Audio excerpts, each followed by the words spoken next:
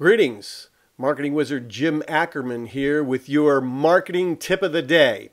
You know, there are a lot of ways that you can build up or embellish an offer, and I'm only going to talk about one of them today, and that's the concept of free samples.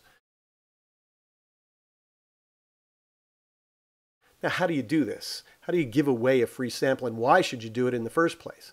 Well, there's one very good reason to do it, and that is people like free offers. The word free remains the strongest word in advertising. So if you can figure out a way to give someone something for free, the odds that you'll generate a lead go way up.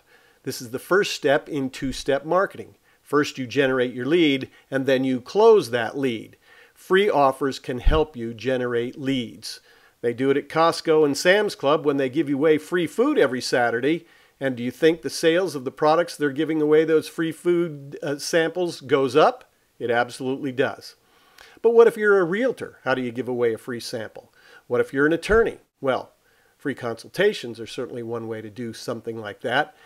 Or if you're a realtor, you can also give away reports or analysis or CDs or information products. These are all ways to generate leads and once you've captured the name and contact information of the people who get those free gifts, then it's simply a matter of following up on a regular basis, and sooner or later they'll buy. It's no longer a question of if, it's just a question of when. Leave your comments on today's tip and don't forget to subscribe to the channel. And don't forget to subscribe to the other channel, Good, Bad, and Ugly Ads, where you can scrutinize an ad a week and see how your critique measures up with mine.